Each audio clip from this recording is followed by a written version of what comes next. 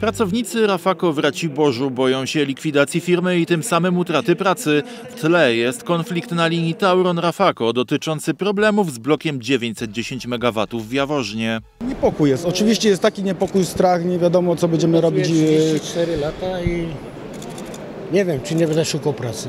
Pracownicy i związkowcy uważają, że cała sytuacja jest niejasna i wygląda na działanie w złej wierze. No proszę sobie wyobrazić, no y, wyrzuca ktoś pana z obiektu, prawda? E, oczywiście my proponujemy jakieś tam, ponieważ to e, Rafako e, jakby projektowało ten kocioł, więc e, proponują jakieś e, e, jak, e, sposoby naprawy, tak? E, Jak, jak tutaj Rafako to widzi, po to, żeby zachować te wszystkie gwarancje. E, wyrzuca się, bierze się tutaj firmę e, zastępczą do, do wykonania tych robót. O, no ale w tym momencie, proszę Państwa, no, y, wyrzuca się zupełnie Rafako, nie ma na tym kontroli. To, to jak y, tutaj, jak to oceniać inaczej? Jak my to mamy oceniać tutaj? W piątek do siedziby Rafako w Raciborzu przyjechał przewodniczący Platformy Obywatelskiej Donald Tusk. Podkreślał, że jego przyjazd nie ma podtekstu politycznego, a jedynie chce przyczynić się do nagłośnienia sprawy.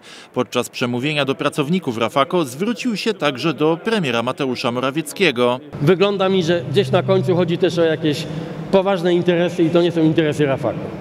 Na pewno. I że ktoś w tym, tym gra też po to, żeby coś ugrać dla siebie i chodzi tu raczej o pieniądze.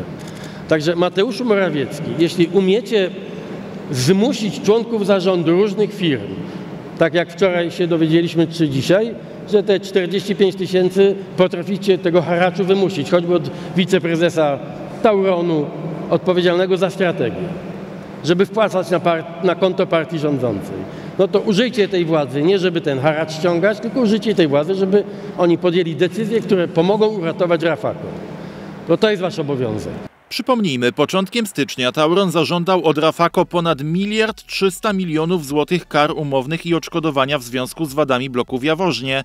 Do tej pory próby mediacji między stronami kończyły się niepowodzeniem. ten blok, y, od niego zależy bezpieczeństwo energetyczne Polski. Mieliśmy do czynienia już ostatnio z y, zagrożeniem blackoutami. Piłeczkę odbija też Tauron. W piątek władze Taurona Wytwarzanie podkreśliły, że nadal są otwarte na mediacje i chcą rozwiązać spór.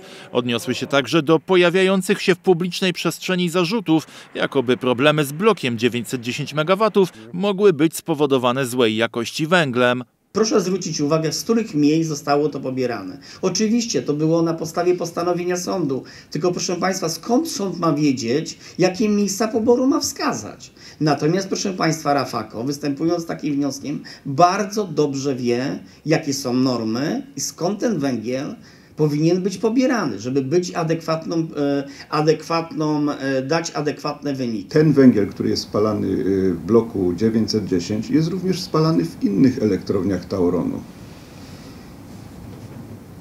Czy słyszeli Państwo o jakichś awariach w innych elektrowniach? Poważnych? No chyba nie. Czy powoduje szlakowanie? Każdy węgiel powoduje szlakowanie. Kolejna tura negocjacji na linii Tauron-Rafako zaplanowana jest na wtorek.